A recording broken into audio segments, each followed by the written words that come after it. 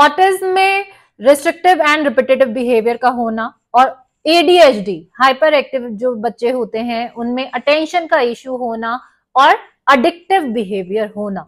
ये क्यों होता है और उसका क्या सॉल्यूशन रहता है, इस पे हम आज डिटेल में बात करेंगे।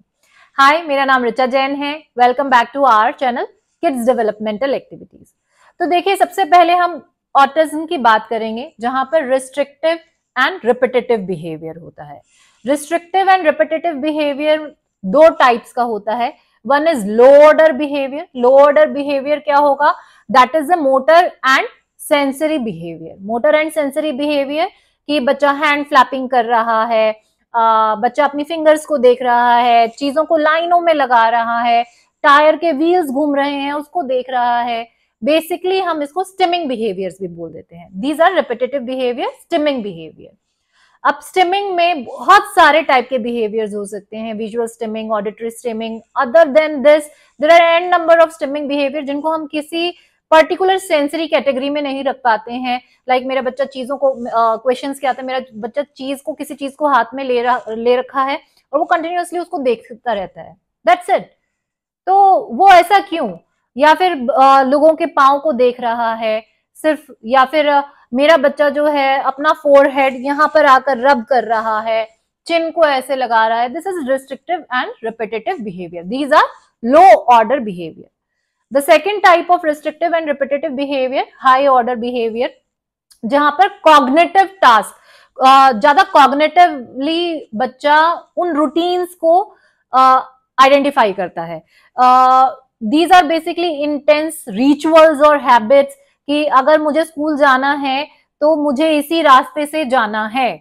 पहले मैं ये करूँगा, फिर ये करूँगा, फिर ये करूँगा। इट्स अ रिचुअलिस्टिक हैबिट वो उनके लिए रिचुअल बन चुका है। अगर कुछ भी चेंज होगा उनके उस रिचुअल में, उस रूटीन में तो मेल्ट डाउन आ जाएँगे। और आगे का सारा सिस्टम जो पूरा दिन का प्लानिंग है, वो गड़बड़ा जाएगा। That is mainly about routine about fixation towards routine कि उन्होंने एक सेट पैटर्न बना लिया पहले मुझे ऐसे करना है ऐसे करना है ऐसे करना है। तो ये सबसे बड़ा इशू रहता है ऑटिज्म में। तो low order behaviour and high order behaviour अब ये लो ऑर्डर बिहेवियर और हाई ऑर्डर बिहेवियर क्यों आते हैं? uh, बच्चे को वो चीज़ें वो जो टास्क है uh, अगर मैं स्टिमिंग बिहेवियर कहूँ या फिर ये कॉग्नेटिव टास्क ये जो रिचुअलिस्टिक हैबिट है इनसे बच्चे को स्ट्रेस एंड एंग्जाइटी रिड्यूस होती है। बिकॉज़ उनका सेंसरी ओवरलोड रहता है। दे कांट प्रोसेस जितना भी उनके पास सेंसरी डाटा आ रहा है वो उसको प्रोसेस नहीं कर पाते हैं तो खुद को शांत करने के लिए खुद को काम डाउन करने के लिए ये लो ऑर्डर बिहेवियर आते हैं। और हाई ऑर्डर बिहेवियर की बात करूँ आ, वो जो रिचुअल है वो इसलिए कि अब उनको एक फिक्स है कि मुझे सुबह उठना है पार्क जाना है बिकॉज़ अगर आप एक रूटीन बच्चे के साथ फॉलो करेंगे तो दे विल गेट हैबिचुअल और वो उनका रिचुअल बन जाएगा। आप उसमें से कुछ भी मिस करेंगे तो बहुत मेल्ट डाउन आते हैं। तो वो क्यों होता है? Because they are so use to it वो उनके लिए इतना कंफर्टेबल जोन है कंफर्ट लेवल आ गया है वहाँ पर कि that is the relax zone उनको पता है कि यहाँ पर ये करना है और ऐसे करना है। अब क्यों, ऐसा क्यों है वहाँ पर कंफर्ट उनका?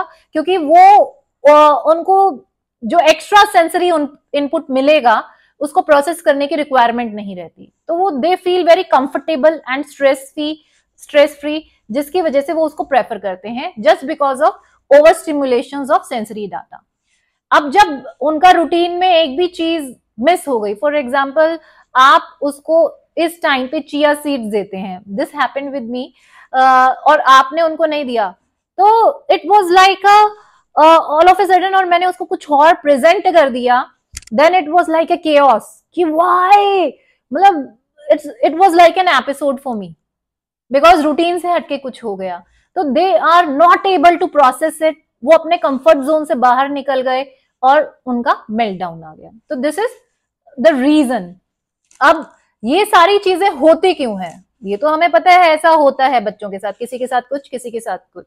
Every child is different but why this happens क्योंकि ये जो बिहेवियर्स हैं they give some reward chemical in their brain तो रिवॉर्ड सर्किट को एक्टिवेट करते हैं रिवॉर्ड केमिकल जनरेट करते हैं ब्रेन में, जिसकी वजह से they feel calm and compose कि yes all is well all is fine nervous system calm down हो रहा है और वो अपने आप को काम डाउन करने में हेल्प आउट होता है। एंड दैट इज़ बिकॉज़ क्योंकि एएसडी और एडीएचडी में मोस्टली मतलब जो है लो डोपामिन लेवल होते हैं, जिसकी वजह से ये सारे बिहेवियर्स आते हैं। I hope this is clear till now this is about ASD right कि एएसडी में ये जो रिपीटेटिव एंड रिस्ट्रिक्टिव बिहेवियर आते हैं, वो इस वजह से आते हैं। The next main issue is ADHD अब ADHD and ADD what happens attention नहीं है। कोई भी काम बच्चा कर रहा है, उसका ध्यान ही नहीं होता है। इधर उधर सोचता रहता है परफॉर्मेंस नहीं है। And he is so addictive towards sugary food उनको सोडा चाहिए, उनको जंक फ़ूड चाहिए। अगर नहीं मिलता है दे गेट क्रैंकी और चाहिए तो चाहिए तो चाहिए। वरना हिटिंग और पुशिंग और वो सब शुरू हो जाता है। स्क्रीन चाहिए and they are so adamant अगर नहीं आएगा तो पूरा घर का एनवायरमेंट तहस नहस कर देंगे। इतना शाउट करेंगे, इतना सीन क्रिएट होगा। तो वो ऐसा क्यों है? बिकॉज़ एडीएचडी में what happens because of low dopamine level जो डोपामाइन जो ब्रेन में केमिकल है, उसके लो होने की वजह से व्हाट हैपेंस कि अगर आप उनको कोई टास्क करने के लिए बैठाते हैं। तो टास्क नेटवर्क है और एक डिफ़ॉल्ट नेटवर्क मोड है। ठीक है? न्यूरॉन्स का, जो हमारे ब्रेन में न्यूरॉन्स हैं टास्क रिलेटेड है और एक डिफ़ॉल्ट मोड है। तो वो टास्क रिलेटेड जो न्यूरॉन्स हैं डोपामिन लेवल कम है तो वो न्यूरॉन्स एक्टिव नहीं होते, बल्कि जो डिफ़ॉल्ट नेटवर्क वाले न्यूरॉन्स हैं, वो फायर हो जाते हैं। तो व्हाट हैपन टास्क के टाइम पे, जिस टाइम पे, जिस न्यूरॉन्स की रिक्वायरमेंट थी, वो नहीं एक्टिवेट हुए एंड दूसरे न्यूरॉन्स आ रहे हैं multiple neurons what what is happening then तो बच्चे का अटेंशन उधर है ही नहीं कि आप क्या बोल रहे हैं या क्या करना है। उसका ध्यान इधर, उधर इधर उधर इधर, उधर है। This is because of low dopamine level जो न्यूरॉन्स हैं ब्रेन के they are not firing on the right time right neuron on the right time जिसकी वजह से अटेंशन के इश्यूज़ आ रहे हैं। ठीक है? तो आई होप यहाँ तक आपको समझ में आया होगा। अब इसमें क्या है? आपका न्यूरॉन का इश्यू रहा। अब लो डोपामेन के लिए। अब बच्चे क्या करते हैं? उसमें क्या होगा? They are so addictive towards क्योंकि आप शुगरी फ़ूड देंगे जंक फ़ूड देंगे आप प्रोसेस्ड फ़ूड बच्चे को दे रहे हैं या soda because they are so easily available आज के टाइम पे। स्कूल में जाओ, आप पार्क में जाओ बर्थडे पे जाओ एवरीवेयर बस यही चीज़ें अवेलेबल हैं। एंड जब बच्चा उसको खा रहा है कैंडी खाया and all of a sudden sugar rush और वो रिवॉर्ड केमिकल ब्रेन में जनरेट हो गया and they feel so calm and compose yes उनका ब्रेन इतना रिलैक्स होता है, जिसकी वजह से they get so addictive toward screen and sugar and processed food soda तो एंड वो जो डोपामेन की कमी है, वो नेगेटिव जो एक शॉर्ट शॉर्ट टर्म पीरियड में हेल्प कर रहे हैं, उसकी तरफ़ वो एडिक्टिव हो जाते हैं। दे आर सो एडिक्टिव और जब आप उनको उनसे दूर करने की कोशिश करते हैं तो रिबेलियन आएगा, बच्चे का अग्रेशन आएगा। तो वो एडिक्शन को हमें कैसे मोल्ड करना है बाय फुलफिलिंग द डोपामेन जो डोपामेन का लेवल है, उसको करेक्ट करने के लिए बहुत सारी चीज़ें होती हैं। तो आई होप डोपामाइन का आपको समझ में आया होगा एएसडी में रोल एडीएचडी में रोल ठीक है? तो I hope this role is clear अब बात ये आती है because we are doing a series on cerebellum तो सेरेबलम से कैसे लिंक है, वो मैं नेक्स्ट वीडियो में कवर करूँगी। आई जस्ट बिकॉज़ इतना सारा क्वेरीज इस चीज़ से रिलेटेड रहता है। अब बात आती है एक बार डोपामेन हम लेवल कैसे बच्चे का फुलफिल कर सकते हैं। तो मैंने अपनी गट एंड हेल्थ सीरीज़ में भी आपको बोला था कि gut is the second brain ठीक है ना?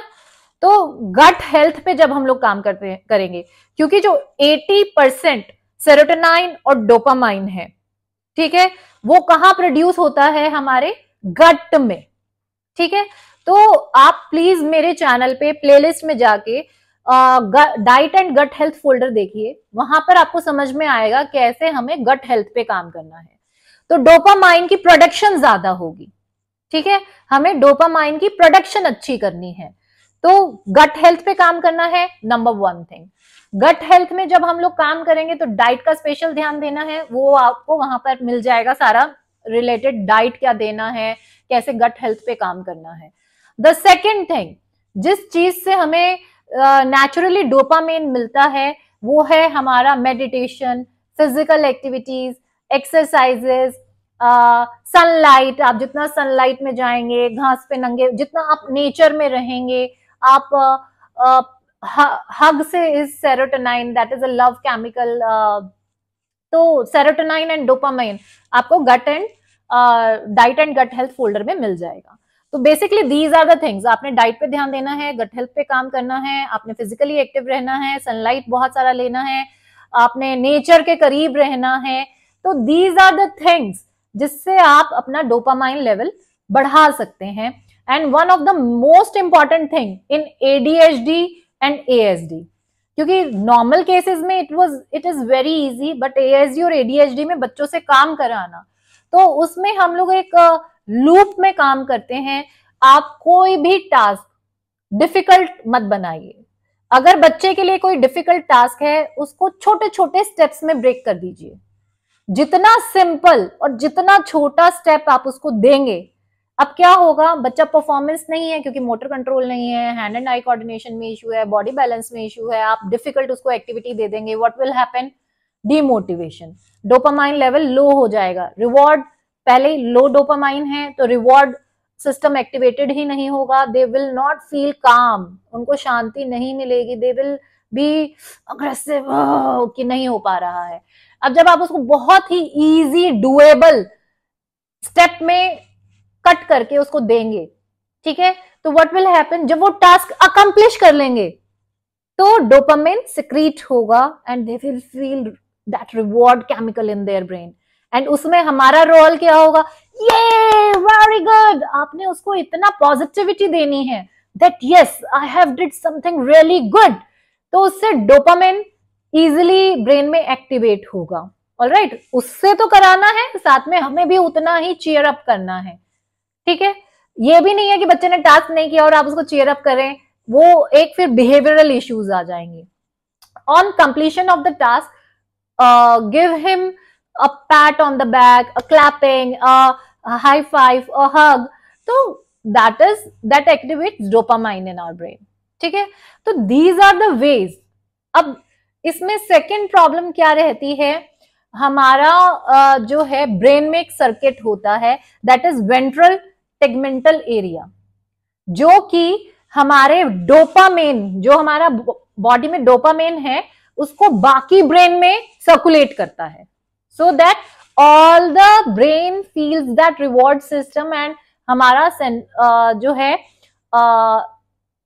डोपामेन की जो पूरे ब्रेन में रिक्वायरमेंट है, वो फुलफिल हो पाए। अगर वीटीए वेंट्रल टेगमेंटल एरिया में इश्यू है, उस पाथवे में इश्यू है तो आप डोपामेन प्रॉपर पूरे ब्रेन में सर्कुलेट नहीं कर पाएँगे और जिसकी वजह से भी रिजल्ट्स नहीं मिलते हैं। And that VTA area is related to what cerebellum this is the link between dopamine and cerebellum तो आई होप आपको आज repetitive and regressive sorry repetitive and this restricted behaviour के बारे में समझ में आया होगा attention and addictive behaviour in ADHD तो इससे आपको काफ़ी हद तक अंडरस्टैंड करने में हेल्प मिली होगी। What is the science behind these behaviours और कैसे मुझे उसको रेक्टिफाई करना है?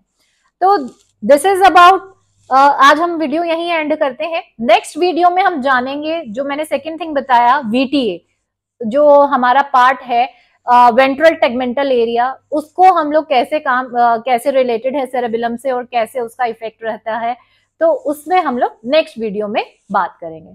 तो if you find this video useful and informative क्योंकि इससे आपको ये हेल्प मिलेगा कि अंडरस्टैंड uh, करने में बिहेवियर का अगर आपको अच्छा लगा और आपको कुछ नॉलेज मिला don't forget to like share subscribe and comment on the video thank you so much